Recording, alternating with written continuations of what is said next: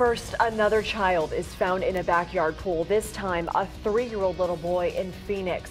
Thanks for joining us, everybody. I'm Lindsay Reiser. And I'm Jason Barry. Let's get right to Maria Hechanova, who is covering this heartbreaking story near Tatum and Union Hills. Maria, what can you tell us?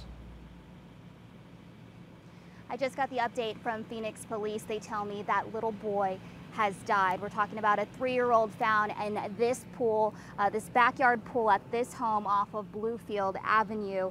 Uh, his grandparents found him there, and here's what we know. We watched several Phoenix police officers go in and out of here the last few hours. Uh, Phoenix Fire tells me they received the drowning call just after 1 p.m. When they arrived on scene, the boy was already out of the water and police had started CPR. Paramedics took over, but it didn't look good. The boy did not have a pulse and was not breathing the entire time he was in Phoenix Fire's care. And he arrived at the hospital in bad shape. One of the neighbors heard the sirens and saw this when he went outside. They put him on a, you know, stretcher and they took him right out to the ambulance.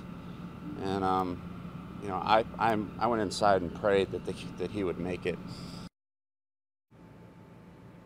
Now that same neighbor tells us the boy, uh, the pool the boy was found in did not have a backyard pool fence.